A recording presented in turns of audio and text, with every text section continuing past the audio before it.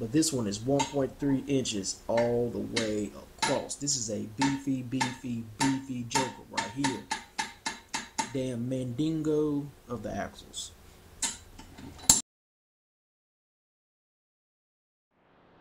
What's going on, boys and girls? Today we are working on my 2400 EX, and we're going to be doing a little bit of axle hardware replacement.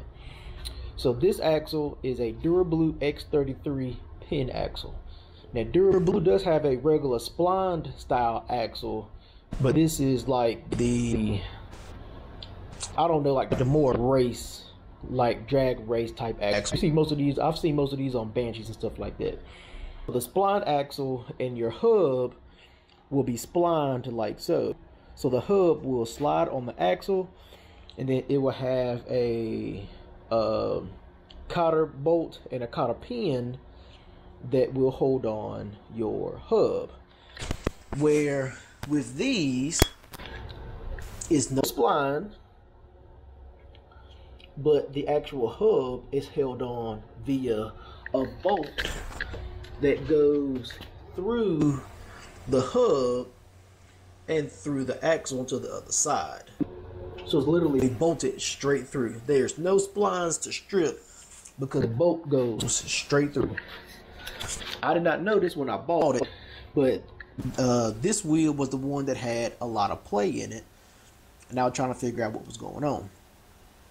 So the other wheel, the hardware is correct. This wheel is the one that's jacked up. And I wasn't going to record taking the wheel off. If you look, you can see that, that bottom one is hardly any of the bolt coming through the wheel.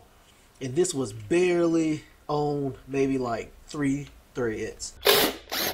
This is just, I don't know what happened on this side, but it is all jacked up. And when I posted this on the Honda Hoarders original Facebook group, not the 2.0, uh, one of the guys that commented said that I had to contact DuraBlue themselves, and I did. And I bought all new hardware uh, right here, and it was $78 shipped. Got it straight from DuraBlue in California. These bolts are just so at least they are threaded but this one is not moving all that great this one is tight uh the bottom one is not all the way in there. And this is the way that I picked it up. Uh this bolt is not correct. Uh but it's in there.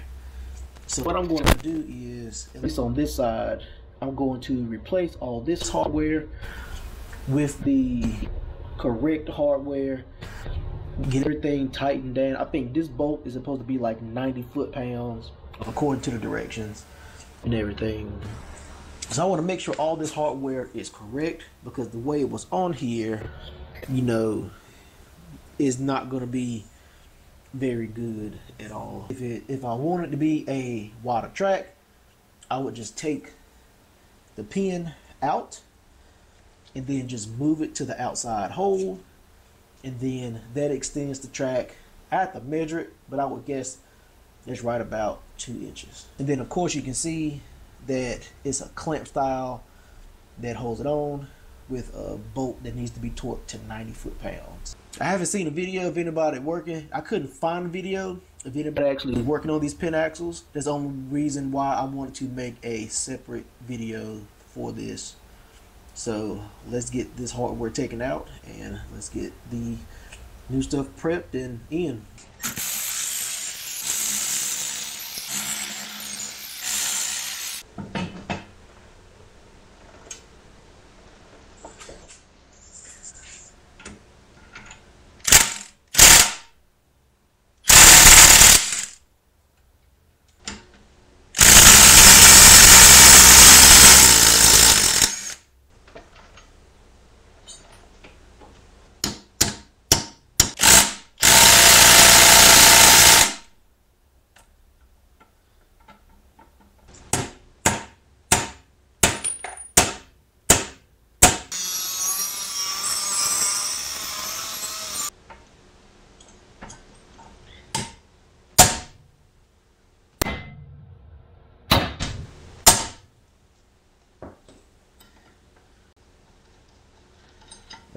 doesn't screw out.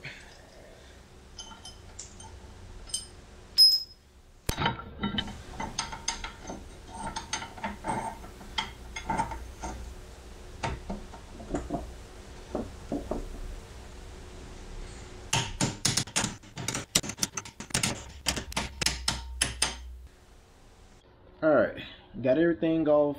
Surprising, surprisingly, everything looks good. Uh, and the most important part, the pin for pin axle goes in the inside hole and has just very minimal play. And that was what I was. That's what I was worried about. I was worried about this hole being ovaled out but it has very little play in it. Uh, it seems like the outside hole has had more runtime than the inside hole as just a little bit more wallowed out.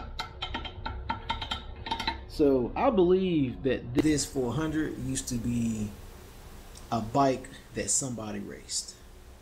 Uh, the more I go over it, the more and more it makes sense that maybe in its earlier years, it had to been no later than 2010 i'm thinking because the front uh, extended control arms uh, kind of looking at the forum post around 2010 it was people looking for parts and the wicked products arms were already discontinued in 2010 so i'm thinking you know from its birth in 2000 to 2010 somebody raced this bike at some point.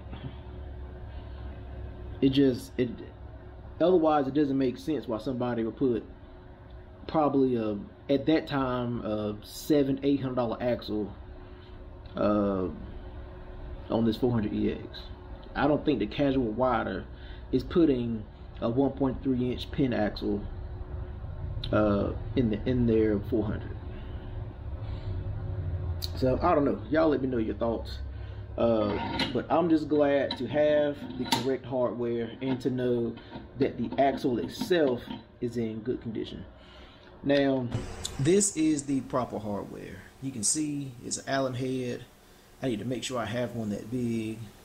Um, but then you can see the issue when it comes to the overall outer diameter difference. That's why this one wasn't coming out because it's not the right size to be in there in the first place. But at least they did use, you know, kind of the right size bolt. It has a little bit too much play in it, but they found one that was somewhat similar, even though it was, you know, one metric size too small, where the actual bolt that it's made for is no play. But like I said, I'm happy that the axle hole is not wallowed out, ovaled out, and I'm also happy that the threads in the hub are not cross-threaded. So somebody at some point did something halfway correct. Why those bolts were not all the way through the back of the hub, I don't have the slightest idea doesn't make any sense. I couldn't find any videos talking about the pin axle, uh, so hopefully this clears up some of your questions if you happen to acquire a four-wheeler with a pin axle and you're trying to figure out where the hell the splines are because there's no splines on this axle. Like I said, this axle is 1.3 inches, so it is girthy. And it takes the girth the entire way because the factory axle is tapered on both ends but this one is 1.3 inches all the way across. This is a beefy beefy beefy joker right here. Damn mandingo of the axles. What we're going to do now is get the wheel studs put in the hub in the instructions. I didn't see that any lock washers were needed just the bolts and the hubs with some blue Loctite. So I bought some blue Loctite a while ago. Thought it was going to be small. End up being this porn star right here. So I'm going to get those wheel hubs installed. Studs are in. they are blue Loctited per the instructions. I torqued them down to 40 foot-pounds of torque, which didn't seem like all that great of an idea. So I torqued them to 20, then I did 30, and I did 40, and 40. Felt like I was about to strip them. But they torqued. They're in there. They're blue Loctited. They shouldn't come out. They should feel a whole lot better. Uh, where's my hammer? And then per the instructions is going to go bolt washer hole lock washer.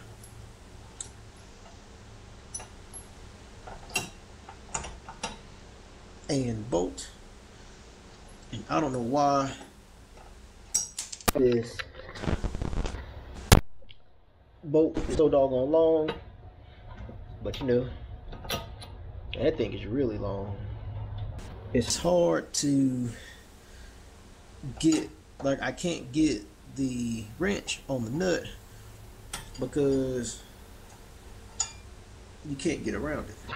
And I can't even get a socket on there because there's literally no room. Like you can't hold it. You can't keep it from moving. Because like the wrench. Like just barely fits around it.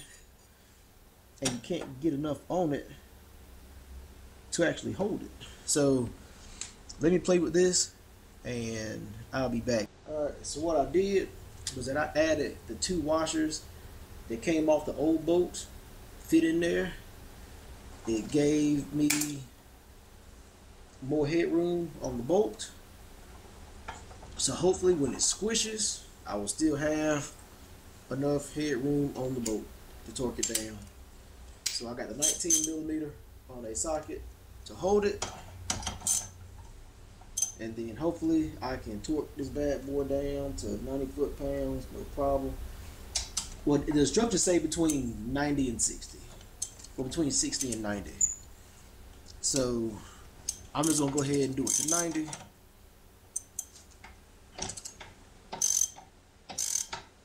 and hopefully this will be the solution and if that's the case I will use a washer or two from the other side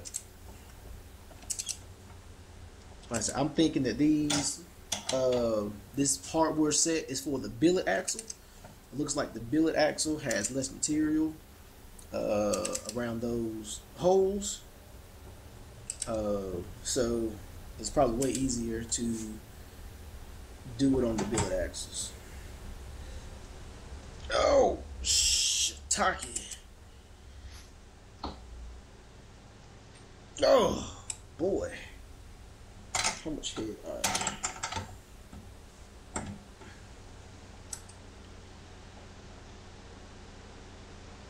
Mm. mm.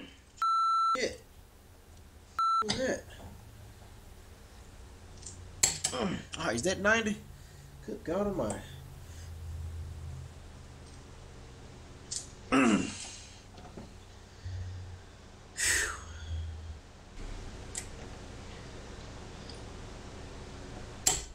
oh, all right.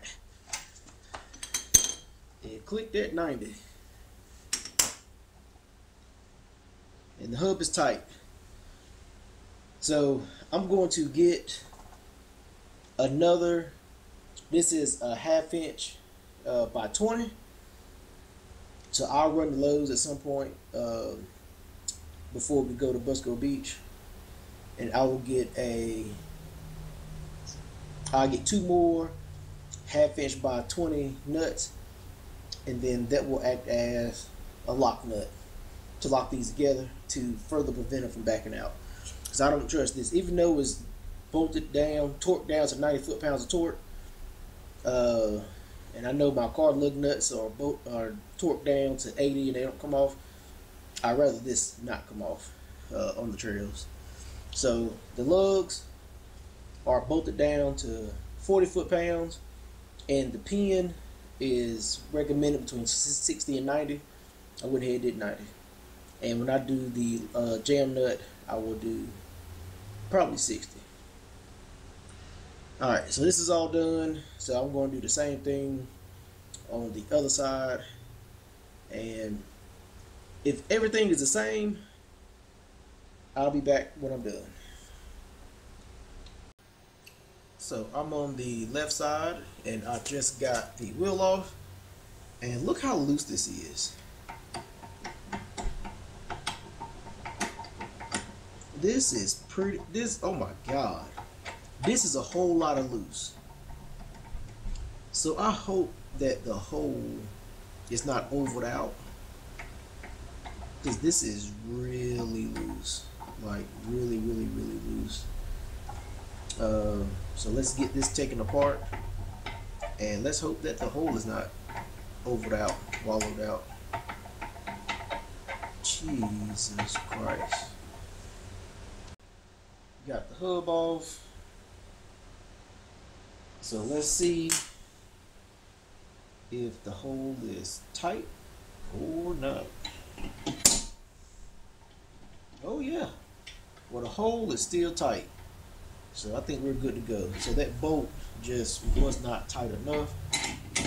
Uh, the outside hole has roughly the same amount of play as the outside hole on that one which leads me further to believe that this bike was raced or exceed or just whatever on the wider track and the inside track was not used that much and luckily it wasn't used that much with the bolt not being tight because the hole is not wallowed out so I will be back once I clean up this axle a little bit like that one is cleaned up and once I get the new um, lug bolts installed and get the pin installed and all that stuff. But I am going to use, it was only one washer on this side.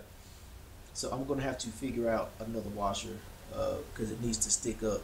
It needs to be a little bit proud so that I actually can hold it, uh, the nut to tighten down.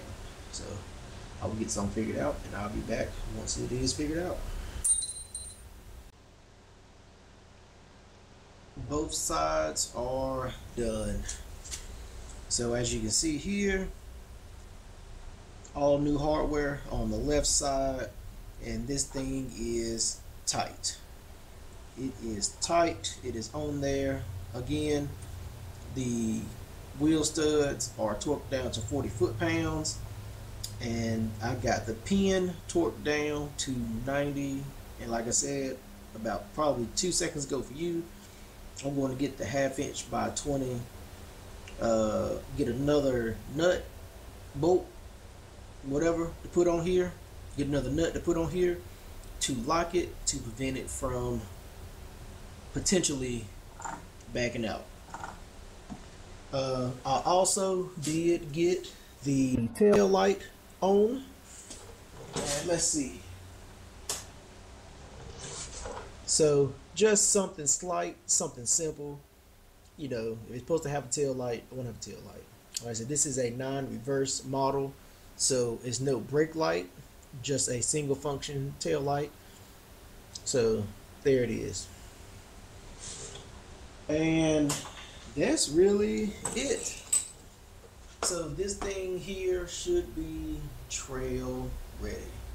I think I fixed everything except for the heim joints on the upper A arms. They're a little loose on the right side. Has a little bit of play in them. It's not bad. Uh, but everything else has been addressed. I was really worried about this axle. I was worried about these holes being ovaled out and luckily they were not, especially on this one because this one was really really loose. But now everything is on there, good and tight. New hardware. The hardware was seventy eight dollars if you need it. Uh, I didn't see it on the website, so I contacted. I called them directly. He picked the phone up. He was doing something. He was busy, and he stopped what he was doing, and he took my order over the phone, and he had it to me in like four days, four or five days from California. So, all new hardware everything's tight. Um, the wheels, everything looks good. The inserts are there. Um, the lug nuts, the tapered lug nuts, uh, fit on new hardware nice and smooth, so nothing is cross threaded. I did clean this axle up a little bit. I might take a little bit of WD-40 or something and put on there, uh, just to kind of keep it looking nice. But yeah, everything is everything, and this video has probably been long enough, so I'm gonna let y'all go. So anything, um, think, build, enjoy. Uh, the next video you will see on my 400 will be going to Busco Beach and riding. So hope y'all look forward to it because I look forward to it. This will be my first ride on my 400. So I've been wanting one for years and I finally got one. I'm 36 years old, just now getting my own four wheeler. Like I said, I have my 85 125 3 that will be up for sale. I have my 83 200E that's not going anywhere. And I have my Baja mini bike that's not going anywhere. And I have a 91 Z50R that is also for sale. Uh, but yes, this is my first quad, and I've been wanting one for a long time. So everything else, all my other toys may leave one day, but the 2400EX, my 83 200E, and that Baja will be the last three items to leave. Be the last three items that I will sell. I'm going to keep those three like I said, the Z50R, the 125. Time is short for those. I want to be cruising on my 400 for years to come. So, like I said, if anything you're going to do in life, think, build, enjoy. I will see y'all on the trails at Busco Beach. Peace.